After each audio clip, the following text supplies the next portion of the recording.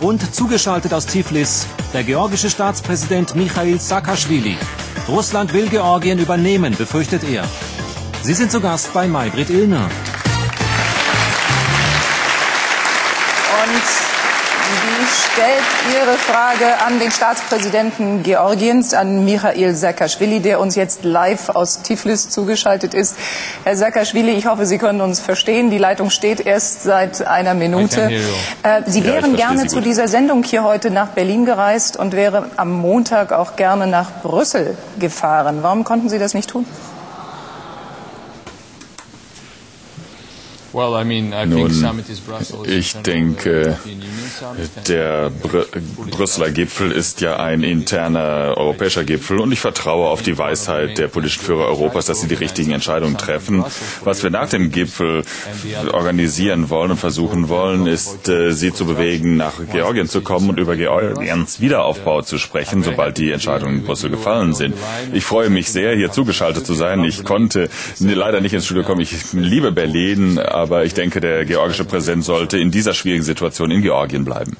Nun hat Russland die beiden äh, abtrünnigen Regionen anerkannt. Warum haben Sie, Herr Saakashvili, es eigentlich zuvor nicht geschafft, sowohl die Südosseten als auch die Abchasen davon zu überzeugen, dass es besser ist, zu Georgien zu gehören? Ich denke, das ist ja eine falsche Frage, weil sie nicht den Kontext berücksichtigt. Wer ist denn die Bevölkerung Südossetiens und Abchasiens? Während wir hier miteinander sprechen, werden die letzten Menschen dort vertrieben, die zu Georgien gehören wollten. Und es war ja ursprünglich eine ethnisch gemischte Bevölkerung. Die meisten sind ja ethnische Osseten und die russischen Panzer haben sie alle vertrieben, auch die ethnischen Osseten. Und jetzt äh, will natürlich niemand mehr in Südosseten zu Georgien gehören, weil die, die dazugehören wollten, vertrieben wurden. Die russischen Panzer haben sie einfach vertrieben. Aus Abchasien haben die russischen Panzer fast 500.000 Menschen vertrieben. Über 80 Prozent der Bevölkerung Abchasiens wurde vertrieben. Und die Welt hat darauf nicht reagiert. Das ist eine der vergessensten ethnischen Säuberungen des äh, 20. Jahrhunderts. Das, äh, das äh, ist ja noch schlimmer als im Balkan teilweise. Niemand hat sich darum gekümmert. Jetzt fragen Sie mich, warum die anderen nicht zu Georgien gehören wollen. Nun, Sie haben unter russischer Propaganda, unter russischer Isolierung gelebt und die Kriegspropaganda hat Sie jahrelang behagt.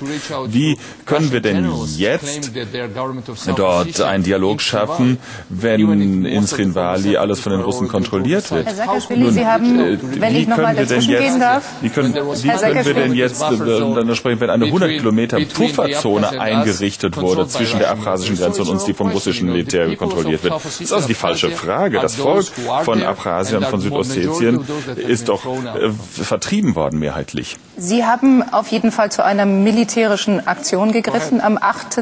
August, so viel ist klar, und haben damit, so sieht das der eine oder andere Kommentator auch in der Welt, in der westlichen Welt, damit Moskau provoziert. Denken Sie, dass Sie das weiter tun werden, dass Sie das wieder tun werden?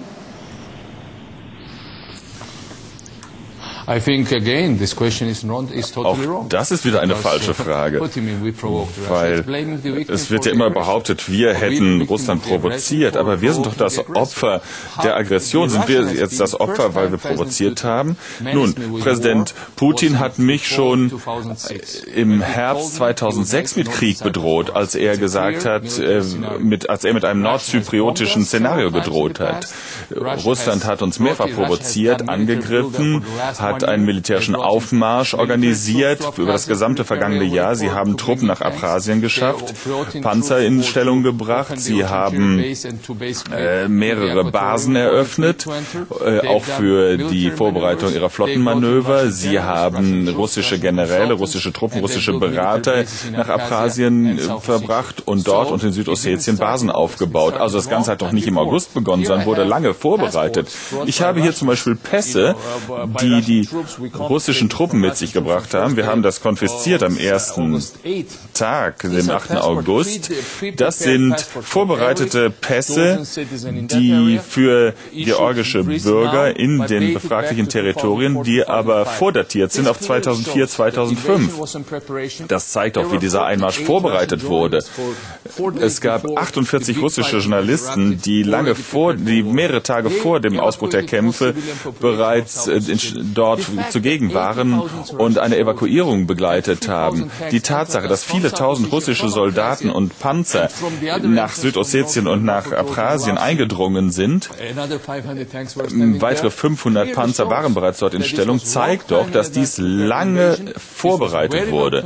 Das war eine sehr wohl geplante Aggression. Niemand kann das doch behaupten, das sei nicht der Fall. Ist es nicht klar, dass eine solche Invasion, ein solcher Einmarsch nicht über Nacht geplant werden kann und äh, durch russische, durch georgische Truppen provoziert werden kann? Herr Saakashvili, das ist doch wirklich, das ist doch einfach nicht korrekt, das Opfer jetzt anzuklagen und dem Opfer zu sagen, es sei schuld, weil es provoziert haben. Ich habe hier viele Artikel vor mir und die, die sagen, dass Russland einmarschiert ist und selbst diejenigen, die sagen, die jetzt bitte nicht weiter zitieren. Diese Sendung zeichnet sagen, sich dadurch doch, aus, dass hier einfach nur die Aggression gerechtfertigt werden Lieber soll. Herr Saakashvili, Sie müssen die jetzt nicht weiter zitieren. Diese Sendung zeichnet sich dadurch aus, dass sie gegebenenfalls provokante Fragen stellt, aber, aber eben nicht provokante Antworten zu geben. Und genau eine solche provokante Frage möchte ich mit Ihrem Einverständnis jetzt auch einem Russen stellen. Wir, ich weiß doch, Sie müssen mir doch nicht erzählen, wie Journalismus funktioniert. Ich, mir sind sehr viel provozierende Fragen schon gestellt worden in Georgien. Ich bin daran gewöhnt. Also ich werde da nicht nervös. Wir, wir haben hier kein russisches Fernsehen, sondern wir haben kritische Journalisten, die uns auch kritische Fragen stellen. Dann lehnen wir uns doch jetzt einfach entspannt zurück und